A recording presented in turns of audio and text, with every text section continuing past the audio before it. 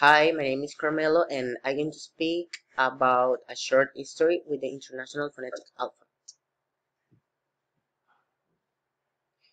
The Beautiful Gift Shop Once upon a time, in a little town, lived a man that his name was Carmelo.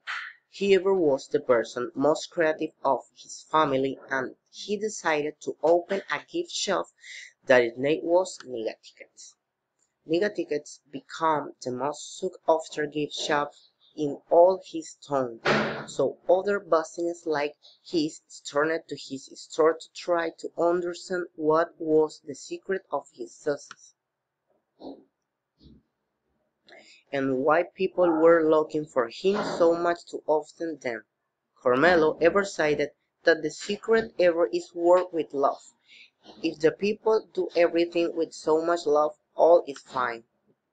Then business began to feel invite towards him, but he did not care, because his main purpose was to make his customers happy.